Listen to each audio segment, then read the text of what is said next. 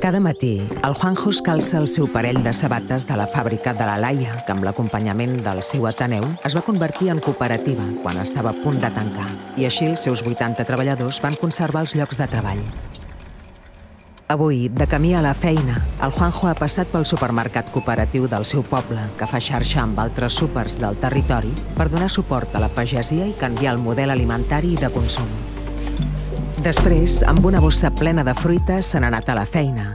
Un centre d'atenció i cures a infants amb necessitats especials que va engegar fa 5 anys amb el suport d'institucions i associacions locals i l'assessorament de l'Ateneu de la seva zona.